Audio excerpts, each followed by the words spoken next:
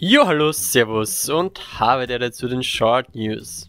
Heute sind sie tatsächlich ziemlich kurz, denn es geht eigentlich nur um den neuen Arena-Modus in Plants vs. Zombies Battle for Neighborville.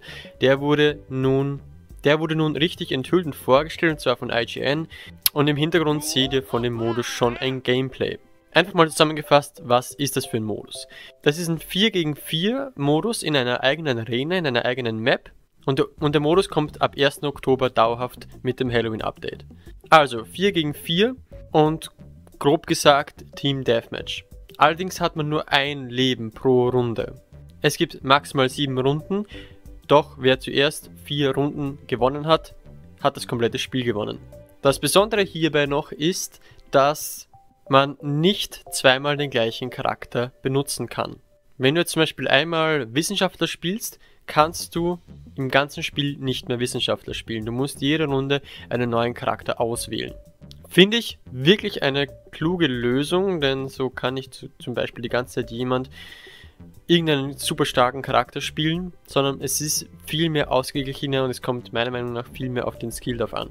Ich freue mich schon sehr auf den Modus, wird es wahrscheinlich sehr teambasierend sein.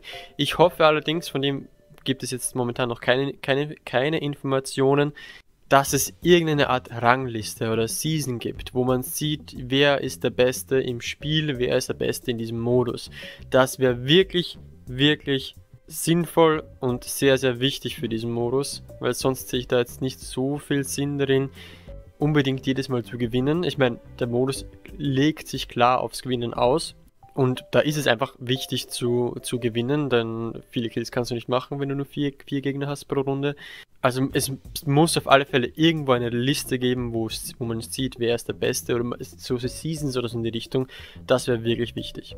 Wenn euch das Gameplay im Hintergrund nicht reicht, ich verlinke euch den kompletten Artikel mit kompletten fast neunminütigen Gameplay. Unten in der Videobeschreibung könnt ihr euch alles nochmal in Ruhe anschauen und anhören. Das war's für heute für mich. Ich hoffe, es hat gefallen. Bis zum nächsten Video und ciao. Servus.